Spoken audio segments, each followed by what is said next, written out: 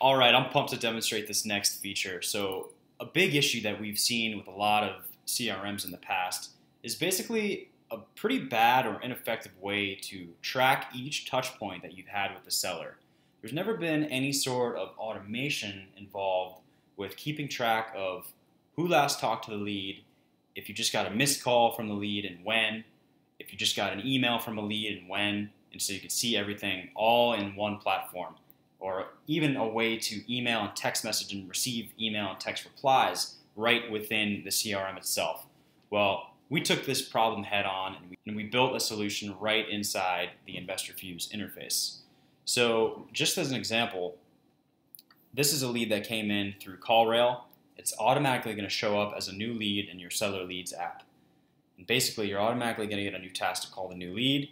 And right here in this field called Communication Log, you'll see a time-stamped message here that has a link to the actual call recording.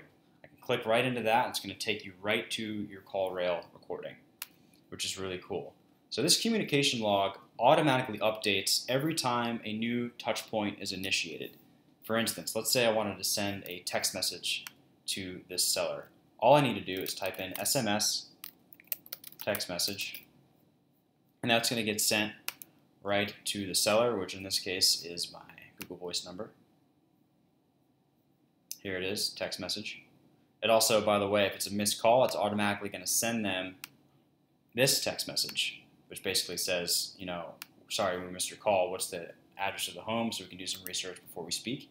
Then I can reply, hey there, awesome person.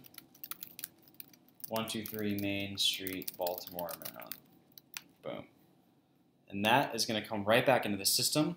You're going to see that it automatically logs that we just made an outbound text.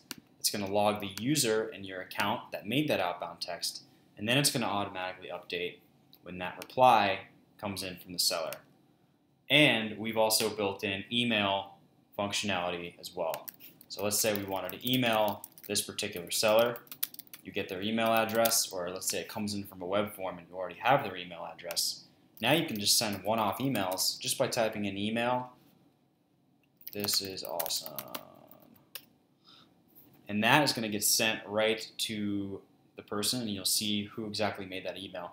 So now you don't have to guess what the last touch point was that you had with a particular lead. You can just open up the lead, and all of it's going to automatically be logged. And the same thing works with inbound and outbound calls as well. Let me just reply to this email real quick so you can see how it comes into the system. I just sent that out, and in a couple seconds you'll see it pop up as an email reply right into the system. Bam! And you'll see that uh, you got an inbound email from the seller with a timestamp. So this is going to be a really effective way to do that. And it's also going to work as well when you're automatically completing certain processes or tasks in the system as well.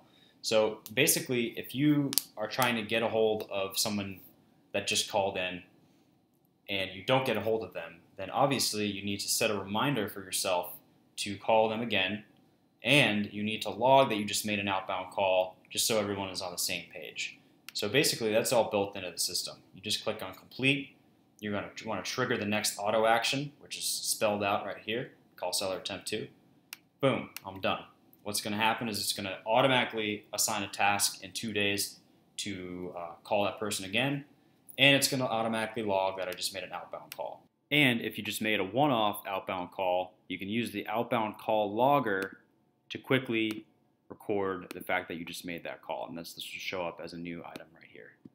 Everything is automatically tracked in the system, so nothing is really left to chance when it comes to trying to get a hold of a seller and once you finally get a hold of the seller, keeping all of those communications properly filed and tracked so you can move forward with the deal as effectively as possible. So really, really excited about this feature. I think it's going to help a lot of people stay organized with their system.